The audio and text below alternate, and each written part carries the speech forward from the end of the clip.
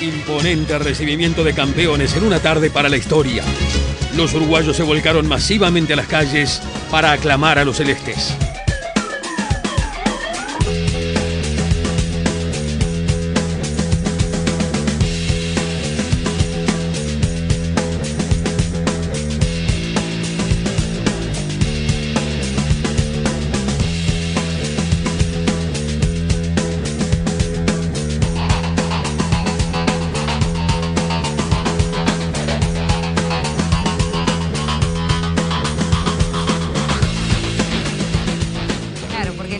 Bueno, la gente sabemos que estaba ahí desesperada por un registrar un momento, ¿no? Pero ustedes también estaban registrando el momento. Es que es un, ¿Cómo? es un momento único. Este, nosotros sí sabíamos que íbamos a tener un recibimiento en la llegada a Montevideo, pero no pensábamos que sea de, de esas características. De, de ver este, millones de gente eh, parada en la Rambla un día muy frío.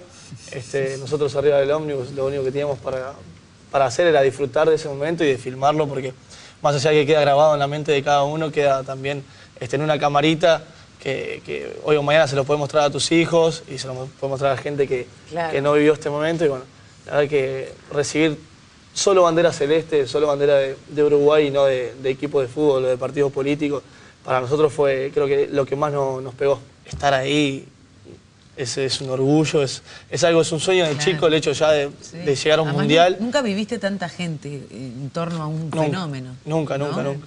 La verdad que... ¿A quién se lo vas a mostrar cuando llegues a Roma? Y primero que nada, la familia de, de Rodrigo, de mi amigo, que es- ellos están allá y no, no lo pudieron ver. Y bueno, después te lo llevaré a las concentraciones para que lo. Editado, mi amor, ¿no? Sí, Porque sí. son No, muchas horas. Aunque parece que, que es lindo. Es mejor este, que no sea Ah, ¿sí? editado. Claro, Fernando, dijiste que le ibas a llevar a la concentración. Eh, mucha gente, compañeros tuyos te han llamado en el momento del Mundial, porque Italia, bueno, se fue temprano, entonces, ¿cómo? Sí, igual este, no tanto los italianos, o sea, hablé solo con, el- con, el, se- con el otro arquero, con mi compañero, y con los que sí he hablado es con, eh, con los argentinos del plantel, y bueno, ahora con, con, Pablo, con Pablo Pintos y el Tata González que se sumaron en, en estos días, me mantenía un poco en contacto, y también con los chicos que estaban en su selección en ese momento. Bien. Fernando, vamos a ver otra cosa. Este es el, momento así especial, mágico de la selección en el Mundial.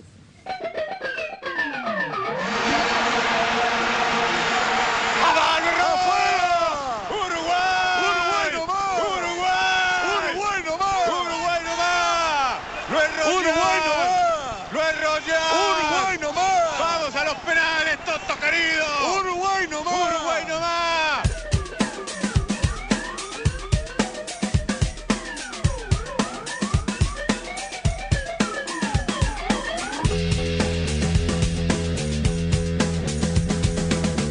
Ay, bueno, y ahí veíamos otra parte, ¿no? La parte negativa, parte de que no fue tan lindo como lo primero. pero- A ver, y, cu- viendo primero lo primero, ¿no? ¿Qué, qué le decías al palo? No, en ese momento, este, después del penal, fui primero al, al abrazo de un compañero porque en ese Sí. momento se necesitaba después de tanta tensión. Este, después me di vuelta y, digamos, le, le choqué el puño al palo porque, bueno, fue él el que de alguna manera nos terminó salvando. Y le decís algo, ¿qué, qué, cuál, ¿cómo No, es? gracias. Gracias. En el momento salió gracias nomás. Pará, ¿y qué gritaba Luis? Luis Suárez, que estaba afuera y cuando vio eso, ¿vos No, hiciste algún contacto visual con Luis, no? No, lo vi en imágenes después. Este, vi que, que tenía la, la boca tapada con la camiseta y que salió festejando, o sea, porque él no podía volver a la cancha. Claro. Entonces, lo, lo único que salió fue salir corriendo hacia el túnel y quedarse mirando después a ver qué pasaba. Algo tan inesperado, ¿no? Como, como ese, ese, ese penal errado, ¿no? De- del Jan este, ¿no? Es algo inesperado. Sí, porque en un penal el que tiene todo para ganar es el jugador. Exactamente. Entonces vos cuando te enfrentás o cuando te enfrentaste a esa situación, ¿hay una parte tuya que dice lo va a errar o hay, o hay una parte toda tuya que dice tengo que atajarlo? ¿Cómo es? No, la parte mía es saber, este, sabía más o menos él dónde pateaba los ¿Sabías? penales. Entonces dije, me voy a jugar a la segura. Claro. Este, y bueno, después eh, en- viendo en imágenes ¿Cómo lentas, sabías dónde él pateaba los penales? porque ya ellos, eh, Gana tuvo muchos penales durante el Mundial y siempre fue él el, el que los pateaba. Y por lo general eran siempre cruzados. Entonces yo Claro. dije, me voy a tirar Ay, cruzado. Aparte. Diego, Diego Forlán el día anterior me mostró una página de internet donde te muestran dónde patean todos los jugadores y dónde erraron y dónde hicieron. Entonces, más o menos me guié, pero en el momento... En el momento Ni me acordé de la eso página, igual, ah. me acordé que era, que era Giam y me tiré hacia mi derecha, que era el, el lugar seguro, digamos. Aparte después viendo en imágenes lentas, este, me di cuenta que él me mira y como sabe que voy a tirar, me voy a tirar hacia, hacia ese lado, cambia el tiro, lo levanta. Por suerte lo levantó, por suerte lo cambió. Mirá. ¿Qué códigos tienen ustedes, no, los arqueros con los que tiran el penal, no? Porque la mirada es re importante. Ah, el- el- el- ¿Cómo sabés el vos que lenguaje con la corporal. mirada él supo que vos ibas a hacer qué cosa? ¿Cómo, cómo es eso? Porque, él, porque él, él me está mirando. Él me está mirando a mí hasta el momento en que yo me tire.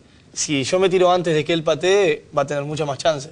Pero si yo lo espero hasta el final y no me muevo, este, le queda una incógnita a él de decir a dónde se va a Ah, tirar. igual no le digas, no le pidas mucho porque está revelando el secreto de su éxito. Bueno, No, pero no, no- no lo vamos a exportar. Igual es, es todo incógnita, así que no, no- no hay Claro, secreto. tata. Claro, son segundos, fracciones de segundos, ¿no? Y bueno, y después veíamos la parte negativa, ¿no? Porque está una parte también en la que de alguna manera, Muslera, ¿dónde estás, no? Estuviste tanto, pero en algún otro momento eh, te pedimos un poco más y bueno, eh, tiene que ver con esto que veíamos de Holanda, alguna cosa de Alemania también. Entonces, ¿hubo dos partes para vos, capaz, o no? Sí, no, no, a ver la subo y sin duda que, que en el fútbol los goles o lo haces o los recibís. Eh, Eso es lo más lindo que tiene el fútbol.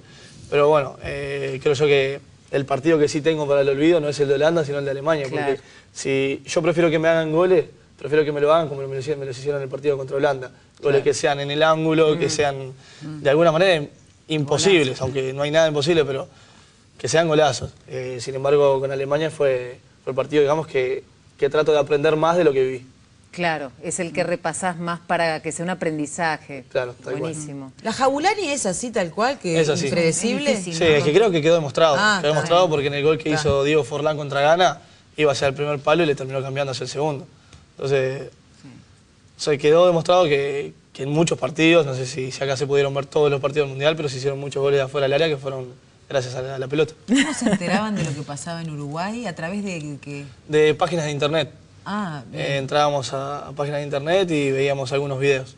Pero ustedes, me imagino, recibían mensajes de sus familiares o llamadas telefónicas inmediatamente después del partido. Sí, pero igual creo que una llamada o un mensaje no es lo mismo que estar viéndolo. Que estar viéndolo. Y bueno, y las imágenes que pocos, que, que vimos poco, no era tampoco lo que en realidad se estaba viviendo en Uruguay.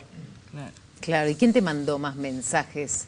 ¿Quién, quién estaba todo el tiempo arriba tuyo? No, mi mamá, Tu mamá, mi mamá. más que tu papá.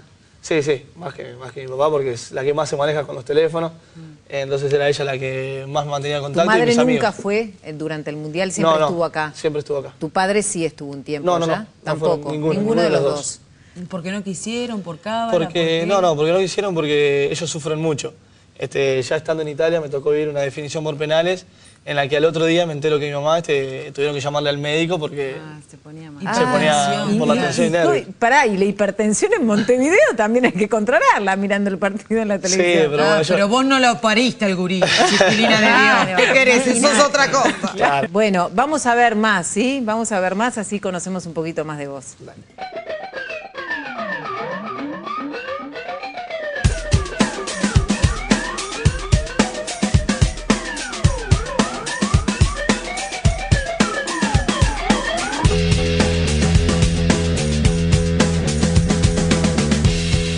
esto es lo que puede pasar cualquier domingo, cualquier sábado en Montevideo, ¿no? Una canchita, este, como empezaron todos ustedes, como, bueno, muchos de los niños que nos acompañan hoy en el estudio también. ¿Qué, qué les decís a los niños cuando te dicen, yo quiero ser muslera? No. ¿Eh? ¿Cómo, cómo te, te- qué mensaje, ¿no? Teniendo en cuenta las carencias y todo lo que hay en el fútbol uruguayo también. No, por lo que yo viví, este, sin duda que le digo que, que, que entrenen, que vayan a los entrenamientos, porque cuando uno es niño no lo hace por profesión, sino lo hace por, por diversión. Entonces, este, que, que entrenen, que se diviertan, que aprovechen y si les gusta, que, que una vez que, que terminen el baby fútbol y tengan un equipo este, de 11, digamos, para, para que puedan este, participar, que lo hagan y que, y que se esmeren. ¿Vos a qué edad empezaste? Yo empecé a jugar a los 4 años en baby fútbol. este, hice hasta los 12 y desde ahí me fui a las inferiores de One. ¿Y a qué edad te fuiste al arco? A los 9. ¿Y quién te llevó al arco? El entrenador porque había faltado un chico, el, el arquero. Y Típico caso, ¿no? Falta el arquero. Falta el arquero, sos el más alto, tenés que ir Sí. al arco. ¿Te duda. gustó? No, me ponía a llorar cada vez que me hacían goles y me sacaba los guantes y me iba.